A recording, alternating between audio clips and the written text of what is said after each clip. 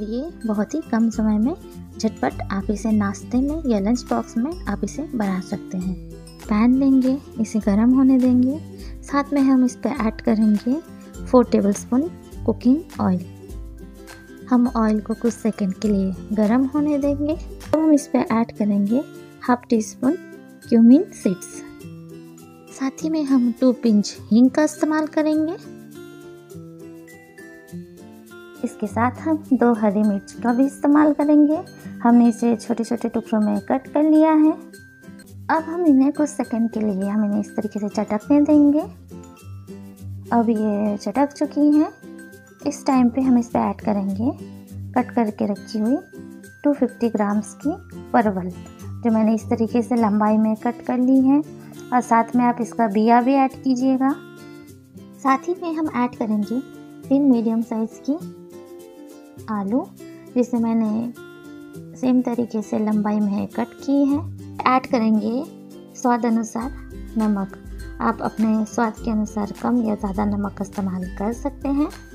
Add करेंगे half teaspoon हल्दी powder one teaspoon लाल मिर्च पाउडर धनिया पाउडर हाफ़ टी स्पून साथ ही में हम हाफ़ टी स्पून गरम मसाला का भी इस्तेमाल करेंगे।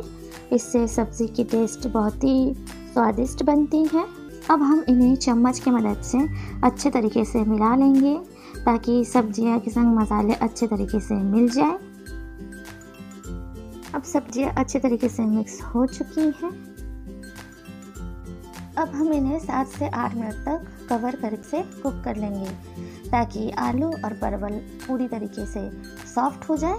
सात से आठ मिनट हो चुके हैं। चलिए अब हम चेक कर लेते हैं।